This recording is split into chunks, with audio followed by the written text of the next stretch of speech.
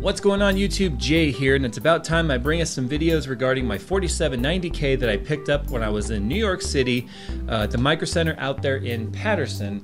And I tried, I've already spent a lot of time today trying to do a different video that I'm just gonna scrap and start all over.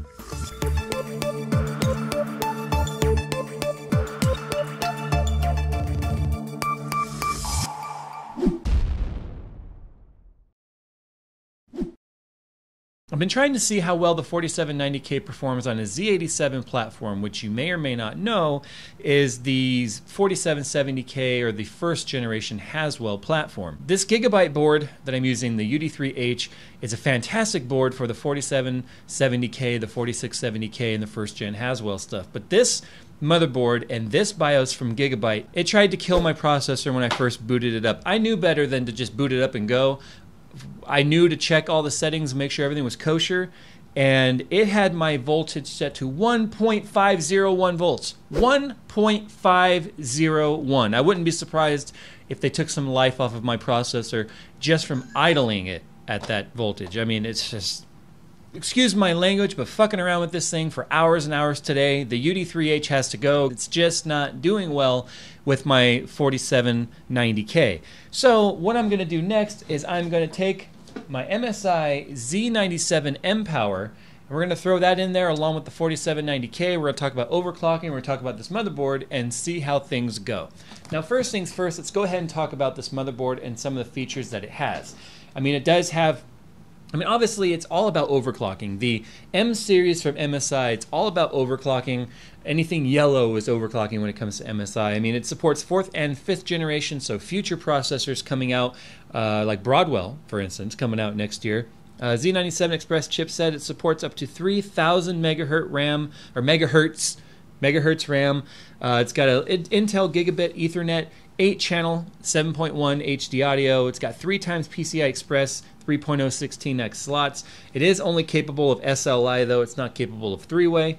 Uh, it does have six SATA 6 gigabyte or SATA 3 6 gigabit per second ports uh, from the Z97 with RAID support, so that's directly hooked up to the chipset.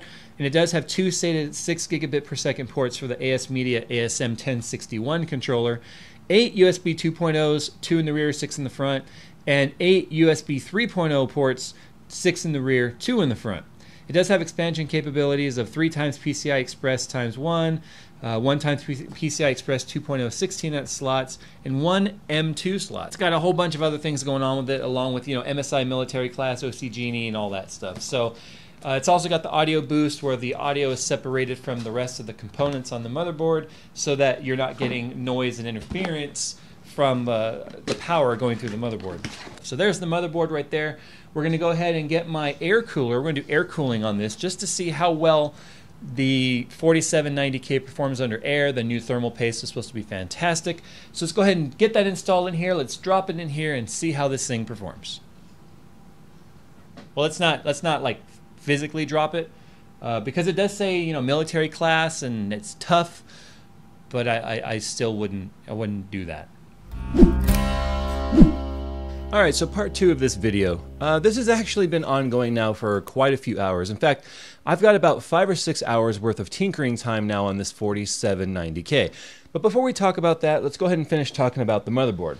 Now the Z97 mPower motherboard, it carries over all of the legacy features that you would expect from all of the other mPower motherboards since the Z77 series. Very stable overclocker, you can adjust every single aspect of the motherboard, every single voltage, Everything is customizable, and that's what makes these motherboards so awesome. The sound card on it sounds good, the overclocking is extremely stable, and things run nice and cool thanks to that massive VRM heatsink. Now let's go ahead and talk about the 4790K. Now if you follow on Twitter, you know I've said some pretty frustrated statements about this chip. They seem to be all over the place when it comes to overclocking potential, just like the 4770K. And that really frustrated me in the beginning, but then I really had to kind of pull myself back and think about it and go, wait a minute, what is the 4790K? Well, it's an evolutionary, not a revolutionary chip. I have to remember that. So it's going to have a lot of the inherent problems that the 4770K had. Now, one thing that they did improve upon, I have to admit, is the thermal compound. Now, we were hoping it was soldered. In the beginning, everyone thought it was soldered. It's not. It's just more of a polymer compound. The custom blend, I guess. I have to say that it's working because I'm currently running 4.6 gigahertz on air. You could never do that with a Haswell uh, 4770K. They just get way too hot. But this thing has been running for about an hour. And yeah, I mean, we're sitting right now in the mid 70s to low 80s. Peak maximum temp achieved so far on all the cores is 88, 90, 89, and 81. So yeah, that 90 could be scary. But keep in mind, that's still 15 degrees Celsius from TJ Maxx. And no, we're not talking about the store, we're talking about where the CPU starts to throttle. The fact that you can do that on air, and I'm currently running 1.309 volts. Yes, you heard me right. 1.309 volts on air. And it's not even a high end air cooler, it's a $50 air cooler that's able to run at this speed. Now, the cool thing with that is it means that the thermal compound is certainly doing its job. And it means that us water coolers are going to be able to push these things even farther as thermals are no longer going to be what's holding back a lot of our overclocks as they were with the 4770K. Why was I mad in the beginning? Well, I think because I was expecting a better overclocker, but then I have to remember, like I said, this is inherently inheriting all of the problems that 4770K had with the exception of the thermal paste. Now they added a few extra transistors and, and capacitors inside the chip which make things a little bit more stable when it comes to power delivery. And I have to say, 4.6 gigahertz is pretty stable on this thing right now, especially on air. Uh, but it was not a revolutionary chip redesign. That's what Broadwell is all about. So I really have to reserve my judgment on whether or not Intel is going to actually appeal us enthusiast builders for Broadwell next year. But that's the cool thing about going Z97 is I'm now set up for Broadwell. And hopefully they actually give us something that we're asking for, which would be a 5 gigahertz guaranteed chip. I mean, we we've been inching up against that 5 gigahertz for so long. Now the 4790K is something you should definitely consider if you're building a system today because it makes no sense to get a 4770K considering they're within $10 of each other at almost every single retailer.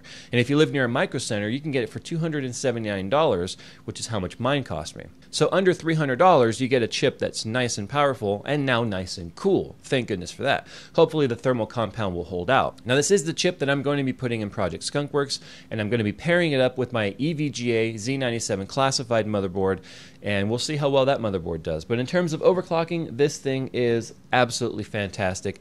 And the 4790K, I'm hoping once I can give more volts to it, because I've seen people go as high as 1.375 volts on these chips and still maintain amazing temperatures on water. So I'm hoping that that'll be me. I'm hoping for a 4.8ish.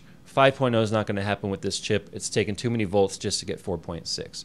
So guys, if you're building a new system, the 4790K is going to deliver everything the 4770K does with a little better stability and a lot better thermal control. I was hoping for more. Unfortunately, I had to remind myself evolutionary, not revolutionary. The Intel Tick-Tock upgrade system, it's still a Haswell. That's what you have to remember. It's still a Haswell chip, but the cooling aspect of it alone makes sense to a new builder. If you're currently on a 4770K, don't even consider updating.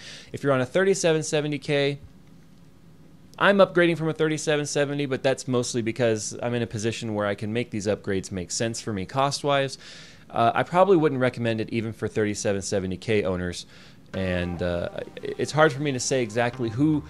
Uh, unless you're on a really old, like a 900 series Intel i7, I don't recommend jumping whatsoever uh, to this chip it's just not a big enough improvement. So guys, been JayzTwoCents. Follow on Twitter if you want to see the tweets I said where I was like, ah, I hate this chip, this chip, blah blah blah blah. No, I didn't really say that, but follow on Twitter if you guys want to talk some more tech stuff. And as always, I will see you guys in the next one.